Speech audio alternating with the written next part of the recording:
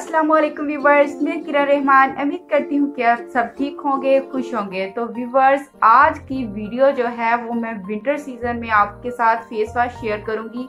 कि आपने कौन से फेस वॉश यूज़ करने हैं जिससे आपकी जो होगी स्किन वो फेयर हो जाएगी, जिसकी अन अनइवन टू स्किन है, उसकी भी स्किन ठीक हो जाएगी ब्लैक हेड्स हैं ओपन पोर्स हैं, ये तमाम मसले जो हैं हल हो जाएँगे, ठीक है जी?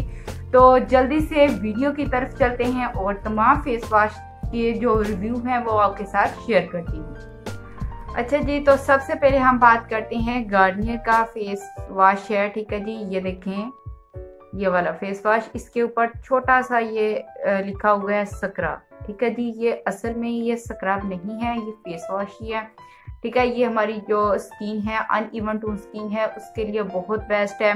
जिसके स्किन पर ब्लैक हेड्स हैं ओपन पोर्स हो रहे हैं, ये उनके लिए बहुत ही बेस्ट फेस वॉश है। ठीक है? इसके अंदर लेमन ऐड है, जो कि हमारी स्किन को फेयर करता है अन इवन टू स्किन को जो है बैलेंस करता है। ठीक है? इसके अंदर छोटे छोटे पार्टिकल्स होते हैं जो कि हमें ऐसा फील होता है जैसे कि स्क्रब होता है, लेकिन ये स्क्रब नहीं है। ये फेस वॉश ही है, ठीक है जी? आपने जब लेना है तो आपने कहना है स्क्रब फेस वॉश लेना है, ठीक है जी? इससे ये होता है कि जब हम इसको यूज़, डेली में यूज़ करते हैं तो हमारी जो स्किन है वो रोज़ रोज़ाना की अच्छे से क्लीन हो जाती है और हमारी जो स्किन है वो फ्रेश नज़र आती है। जिसको ब्लैक हेड्स हो रहे हैं, ओपन पोर्स हैं, ये उनके लिए बहुत ही बेस्ट है। जिसकी ड्राई स्किन है या जिसकी बहुत ज़्यादा सेंसिटिव स्किन है उसके लिए ये इतना बेस्ट नहीं है क्योंकि जिसकी ज़्यादा सेंसिटिव स्किन होती है उससे ये रैश भी हो सकते हैं। इसके अंदर छोटे छोटे पार्टिकल्स की वजह से उसकी स्किन जो है थोड़ी सी आ, आ, मसला बन सकता है उसके लिए ठीक है जी? इसलिए आपने जिसकी ज़्यादा सेंसिटिव स्किन है उसने इसको नहीं यूज़ करना है या जिसकी ज़्यादा ड्राई स्किन है लेमन से उसको आ, है एलर्जी तो उसने इसको नहीं यूज़ करना ठीक है जी? तो जिसके फ्रैकल्स हैं, वो भी इसको यूज़ कर सकते हैं क्योंकि ये स्किन की सफ़ाई करने में ज़्यादा बेस्ट है। ठीक है जी? तो जल्दी से दूसरे हम फेस वॉश की तरफ़ चलते हैं। तो जी, दूसरा जो फेस वॉश है, वो है, वो भी गार्नियर का ही है। ठीक है जी? ये वाला फेस वॉश ठीक है जी? गार्नियर फेस वॉश है, ठीक है? प्योर एक्टिव है, इसके अंदर जो है, इससे जिसको एक्नी का मसला है, वो बहुत जल्दी हल हो जाता है। जिसको एक्नी का मसला है, वो ये वाला फेस वॉश यूज़ करें। और साथ में ऑयली स्किन है ओपन पोर्स हैं डल स्किन हो रही है, वो वाला, ये वाला फेस वॉश यूज़ करें। बहुत ही बेस्ट फेस वॉश है, ठीक है जी? इससे जो होता है, हमारी जो ऑयल कंट्रोल होता है, और इसके ऊपर जो अन इवन टू स्किन है, वो भी हमारी वो वाला मसला भी हल हो जाता है। और इसको रोज़ाना इस्तेमाल करने से हमारी जो स्किन है वो नीट होना शुरू हो जाती है ओपन पोर्स हों। अगर आपको एक्नी हो रही है तो ये बहुत बेस्ट है, क्योंकि मैंने इसको यूज़ किया है। अगर थोड़ा सा आपके दाना वगैरह निकल आता है तो आप मैं इससे फेस वॉश कर लूँ, रात को अप्लाई करके सो जाऊँ तो सुबह मेरा जो है फेस बिल्कुल सही होता है। ठीक है जी? तो ये बहुत ही अच्छा फेस वॉश है। इसको यूज़ करने के बाद आपको ठंडक फील होती है, जैसे स्किन पर कुछ ठंडा ठंडा आपने अप्लाई किया है, ठीक है जी? ये बहुत ही बेस्ट है एक्नी वालों के लिए, जिसकी स्किन डर्टी है, गंदी है थोड़ी सी मतलब कि ऑयली ऑयली सी है ऑयली रहती है, हर वक्त स्किन पर ऑयल आ जाता है उनके लिए बहुत ही बेस्ट फेस वॉश ठीक है जी? तो नेक्स्ट चलते हैं हम नेक्स्ट फेस वॉश की तरफ़। नेक्स्ट फेस वॉश है पॉन्ड्स ब्लैक ठीक है जी, एक पिंक कलर में आता है और ये एक ब्लैक है, जो पिंक वाला है, वो भी बेस्ट है। उससे भी स्किन प्यारी हो जाती है और स्किन कलर जो है वो अच्छा हो जाता है, लेकिन ये ज़्यादा उससे बेस्ट है। इससे ये होता है कि जो आपकी पोल्यूशन होती है स्किन पर आलूदगी बाहर से जो आपके डस्ट स्किन पर पड़ी होती है, इससे वो क्लीन हो जाती है और आपकी स्किन जो होती है अंदर से नीट हो जाती है।